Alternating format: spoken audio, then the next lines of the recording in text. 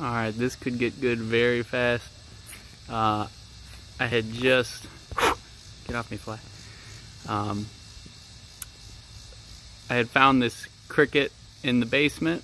Uh, one of its legs appears to have fallen off when I threw it into the web. Uh, it just kicked... Oh, there goes. Here comes, boys. Oh, man. Uh, it had kicked right before I turned the camera on. Um, and the uh, oh gosh, it's called like a yellow garden spider, I think. Uh, they got this almost like a bumblebee, yellow and black. Oh, dude, this is awesome.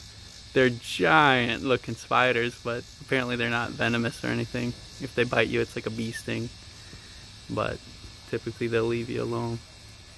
It has made this web a couple days ago. This is like the fourth day I've been looking out here trying to see if there's anything in the web and uh that's like this guy must be starving because uh, I don't see any bugs or nothing. So I got fortunate today to uh, smash one of the crickets in the basement uh, without killing it all the way I guess. And so uh, its good leg there must have kicked a few times and, and now boom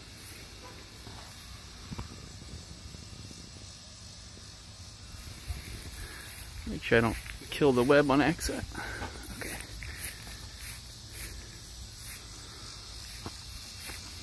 Oh, ran back. See, that's how it would normally would be in the web there. There you can get the nice yellow and black a bit.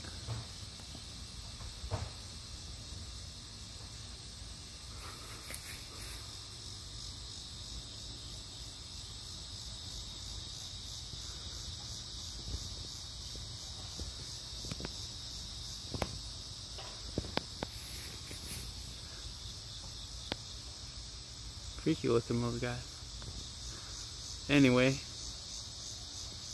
here's his new dinner. Wrapped up neatly. Just another uh, David's backyard nature video, I guess.